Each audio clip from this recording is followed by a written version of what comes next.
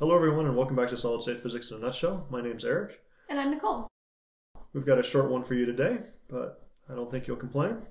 Okay, so earlier, when we originally constructed our real space lattices, it felt almost arbitrary how we specified our origin and lattice vectors. Today, we're going to take a look at the reciprocal space for centered cells and see if those choices mattered.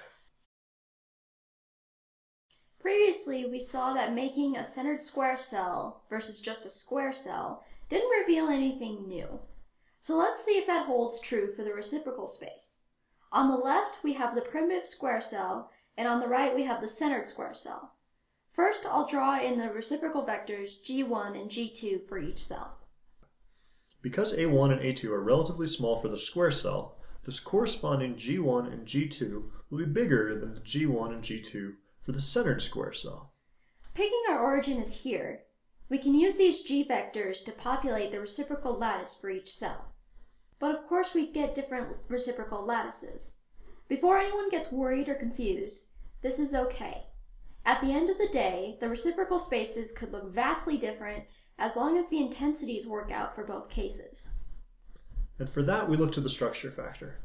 For the normal square cell, with one atom at each lattice point, we found that the structures factor S equaled F naught at all HKL, so that we should observe peaks at every lattice point, as shown by the X. But for the centered square cell, we now have a two-atom basis. Assuming all the atoms are the same, the structure factor for this case is 2F naught for h plus k is an even integer, and 0 for h plus k being an odd integer. So now let's mark an x for every expected peak position for this case. And we can see the spacing of expected peaks positions is the same in both cases. So centering makes no difference when it comes to diffraction. Hmm, I wonder if this is also true for choice of lattice. If you start with a square lattice in real space, but pick primitive, oblique lattice vectors, does it create a square lattice in reciprocal space?